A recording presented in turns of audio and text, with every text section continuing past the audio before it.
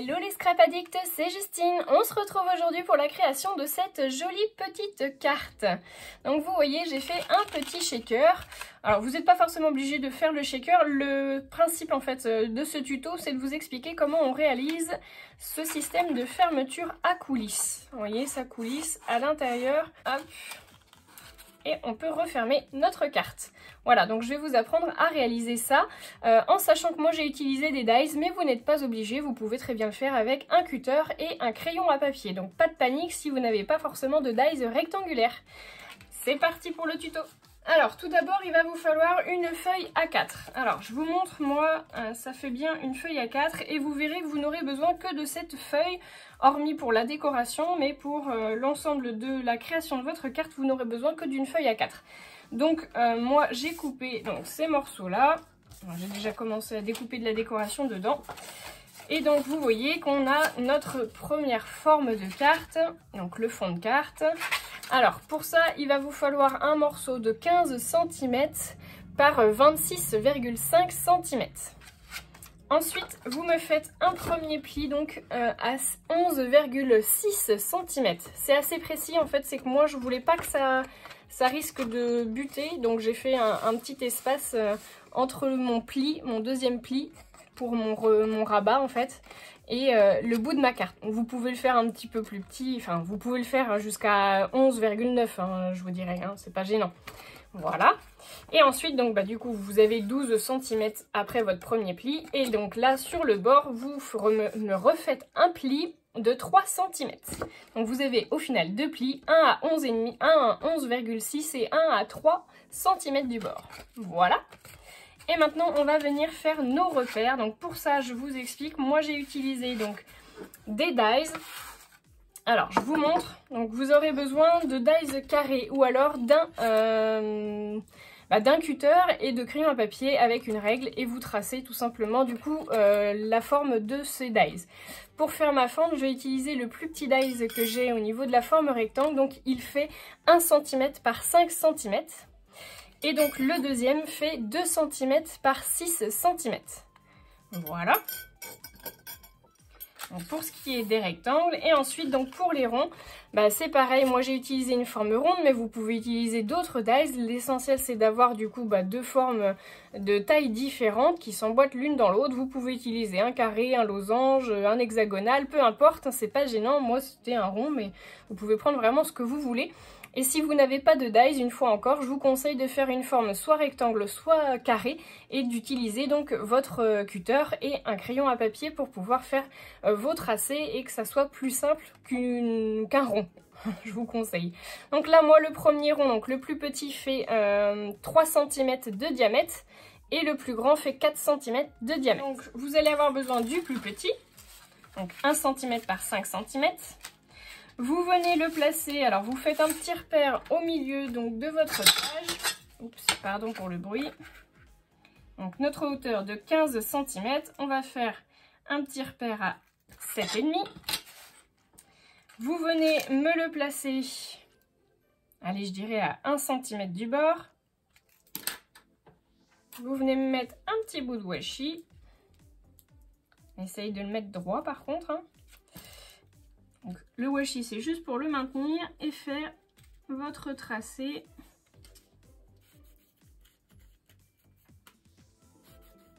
Qui reste bien droit.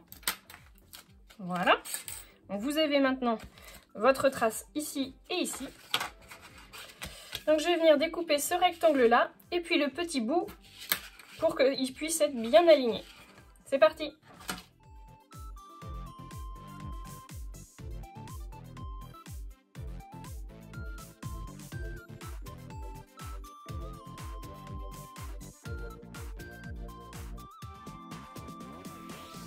voyez, on est parfaitement aligné au niveau de notre découpe. Maintenant, je vais venir euh, faire la décoration. Alors, sur celle que je vous ai présentée, j'ai fait un petit fond à l'aquarelle de chez Action. Donc, je vais faire exactement la même chose. Comme ça, vous voyez exactement ce que j'ai fait. Donc, j'utilise juste mon, mon, crayon aquarelle donc, qui était fourni dans la boîte.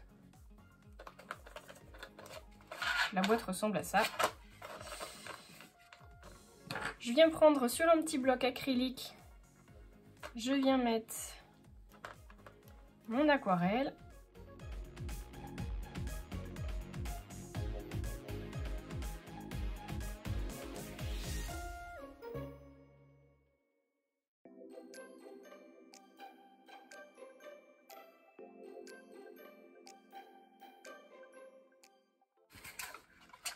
Que votre fond d'aquarelle vous convient, vous laissez bien sécher.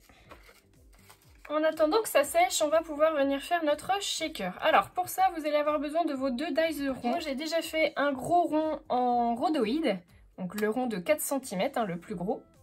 Et je vais venir donc réaliser euh, les contours de mes ronds, enfin, le contour finalement de mon shaker. Donc vous allez voir qu'en fait, je vais utiliser euh, la chute de papier qu'on avait euh, bah, en plus. Je vais faire 6 ronds, donc 6 euh, contours de rond, hein, uniquement cette rondelle-là. Et je viendrai faire un gros rond à la fin, donc du coup de 4 cm. C'est parti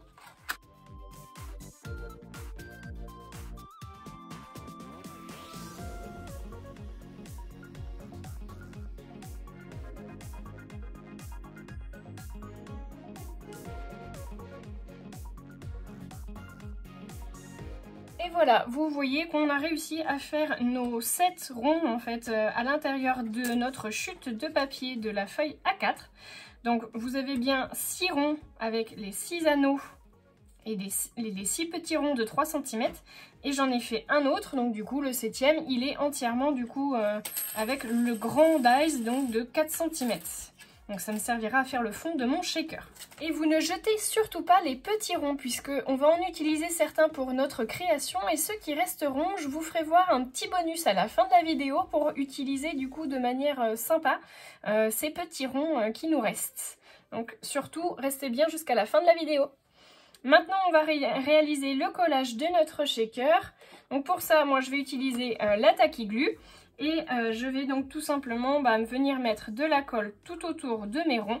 Je viens en empiler 5 euh, les uns sur les autres et le dernier me servira de finition. Donc vous y faites attention.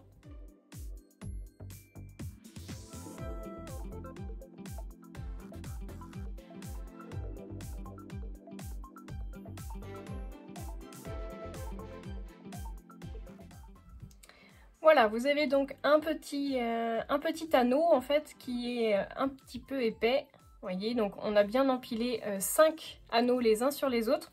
Le dernier, je l'ai bien gardé pour faire ma finition par-dessus mon rhodoïde.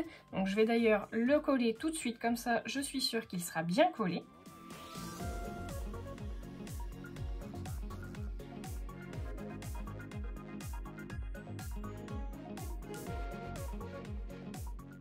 Voilà, j'ai mon petit morceau de rhodoïde avec mon anneau du coup final pour la décoration. Donc je viendrai le mettre à la fin une fois que mon shaker sera terminé.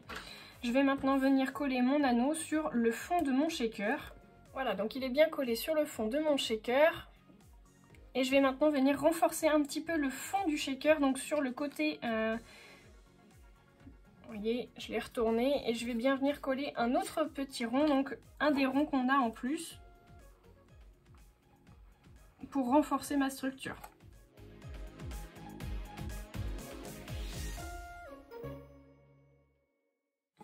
Alors, on va maintenant venir faire notre système de coulisses. Donc pour ça, vous allez avoir besoin de deux tout petits morceaux de carton. Alors ils font euh, bah, moins d'un centimètre puisque c'est la largeur de notre fente. Alors, hop, la petite carte. Donc il faut effectivement que ça puisse rentrer à l'intérieur de votre fente. Et moi j'en ai mis deux épaisseurs qui vont venir être collées l'une sur l'autre pour que ça puisse bah, coulisser comme il faut et ne pas venir frotter contre, contre ma carte. Donc je vous conseille de prendre deux petites chutes. Alors moi c'est des morceaux d'emballage. Hein. Donc euh, vous prenez soit ça, soit du carton euh, de calendrier, peu importe. L'essentiel c'est que ça colle bien.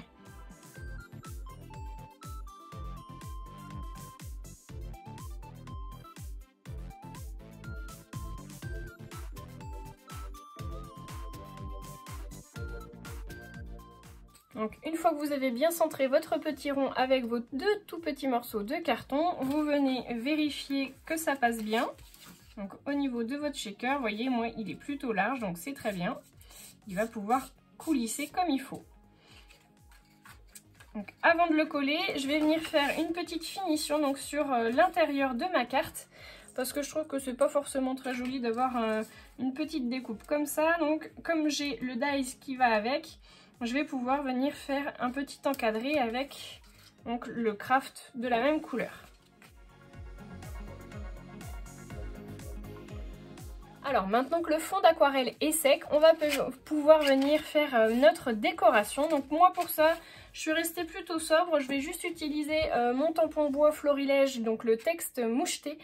Euh, donc je vais venir le tamponner directement dessus avec de l'encre noire. Donc moi j'utilise l'encre Memento noire.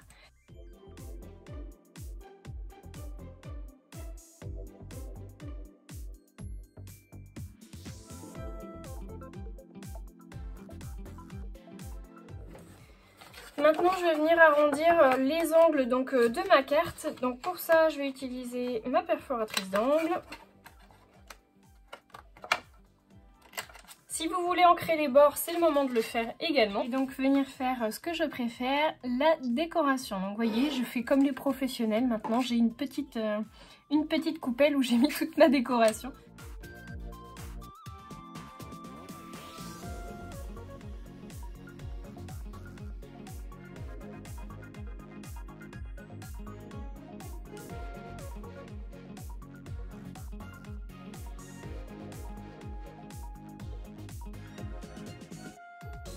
Ça c'est collé, euh, je vais venir prendre une petite breloque. Donc là c'est une breloque avec écrit euh, Mad with Love et j'y ai mis un tout petit morceau euh, de coton bleu turquoise que j'avais donc dans mes affaires. Vous pouvez prendre n'importe quel petit bout de ficelle. Je vais venir le positionner et surtout je vais venir le scotcher avec du double face 3D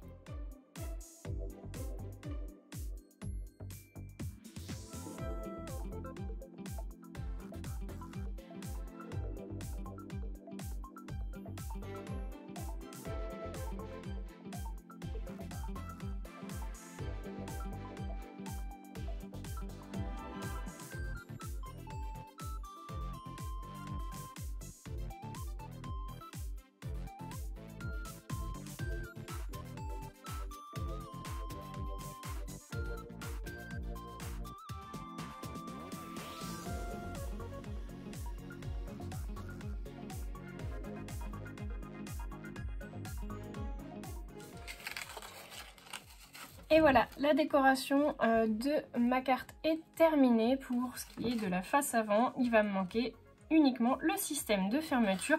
J'ai pas eu envie de refaire la petite dentelle parce que je trouve que ça fait un peu chargé. Je viendrai mettre les, petites demi-perles à la fin et je vous fais voir donc du coup comment on installe ce système de coulisses tout de suite. Donc il va vous falloir le petit morceau de rond avec notre petit, enfin nos petits carrés. Donc vous venez le positionner en dessous. Ensuite, il vous faut donc le rond donc évidé hein, puisque vous n'avez pas encore mis les petites paillettes à l'intérieur. On vient juste positionner un peu de taquiglu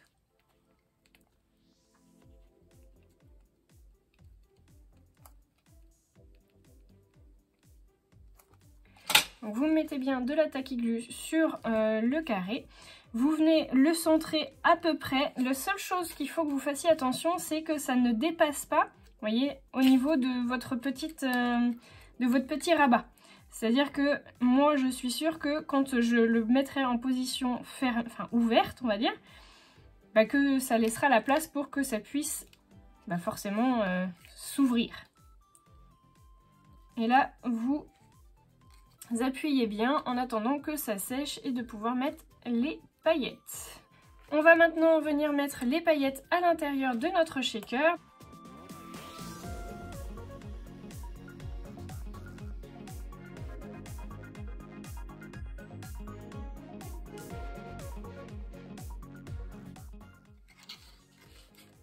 Donc là, on attend bien que ça sèche. Alors, en attendant que mon shaker euh, sèche et vous faire voir le résultat final, je voulais, euh, comme promis, euh, vous faire partager mon petit bonus pour utiliser, vous savez, les petits ronds qu'on avait donc en supplément. J'en avais trois. Donc, je m'en suis servi pour faire des petites étiquettes un peu à la façon étiquette bijoux. Donc vous voyez là j'ai fait une petite, euh, une petite étoile qui me servira à passer un petit lien, une petite ficelle. Là j'avais euh, un tout petit tout petit rond euh, dies de chez Action qui était avec bah, des dies étiquettes qui est plus petit qu'une perforatrice de bureau. Donc je l'ai utilisé pour faire mes petits trous. Là j'ai utilisé la chute de l'étoile et je l'ai rajouté dessus. Voilà donc bah écoutez c'était mon petit bonus. Je pense que mon shaker est terminé. On va pouvoir donc se quitter. Vous voyez, mon shaker est bien fini. On a bien le système de coulisses qui fonctionne. J'espère vraiment que ça vous aura plu. J'ai collé moi des petites demi-perles pour euh, terminer la décoration avec ma petite breloque. Moi je trouve que le résultat il est plutôt sympa. N'hésitez pas à me laisser euh, vos commentaires, un petit pouce en l'air bien sûr, euh, à vous abonner à ma chaîne si ce n'est pas déjà fait et à la partager si vous l'aimez. Voilà, bah écoutez, moi je vous retrouve donc très bientôt pour de nouvelles vidéos tuto et je vous retrouve également sur Instagram pour partager les photos de mes créations. Je vous fais de gros bisous à tous